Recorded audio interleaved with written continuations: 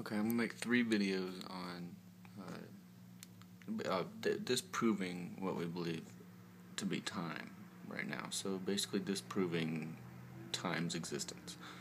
Uh, first, time is not relative.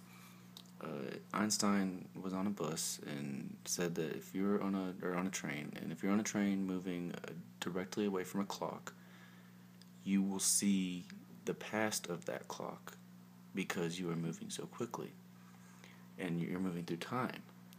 But really, you're not moving through time, you're moving away from the clock and space, which means that light now has more space to travel through, so it takes a more longer amount of time, or what we call time, to get to you.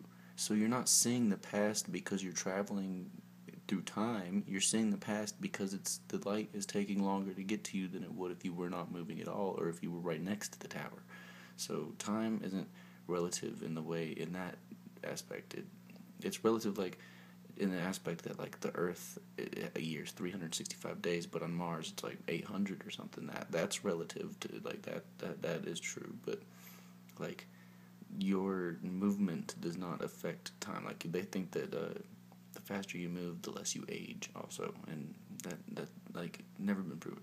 All right, uh, that's video one, and there are two more at least. And then if I think of any more things, I will put those up.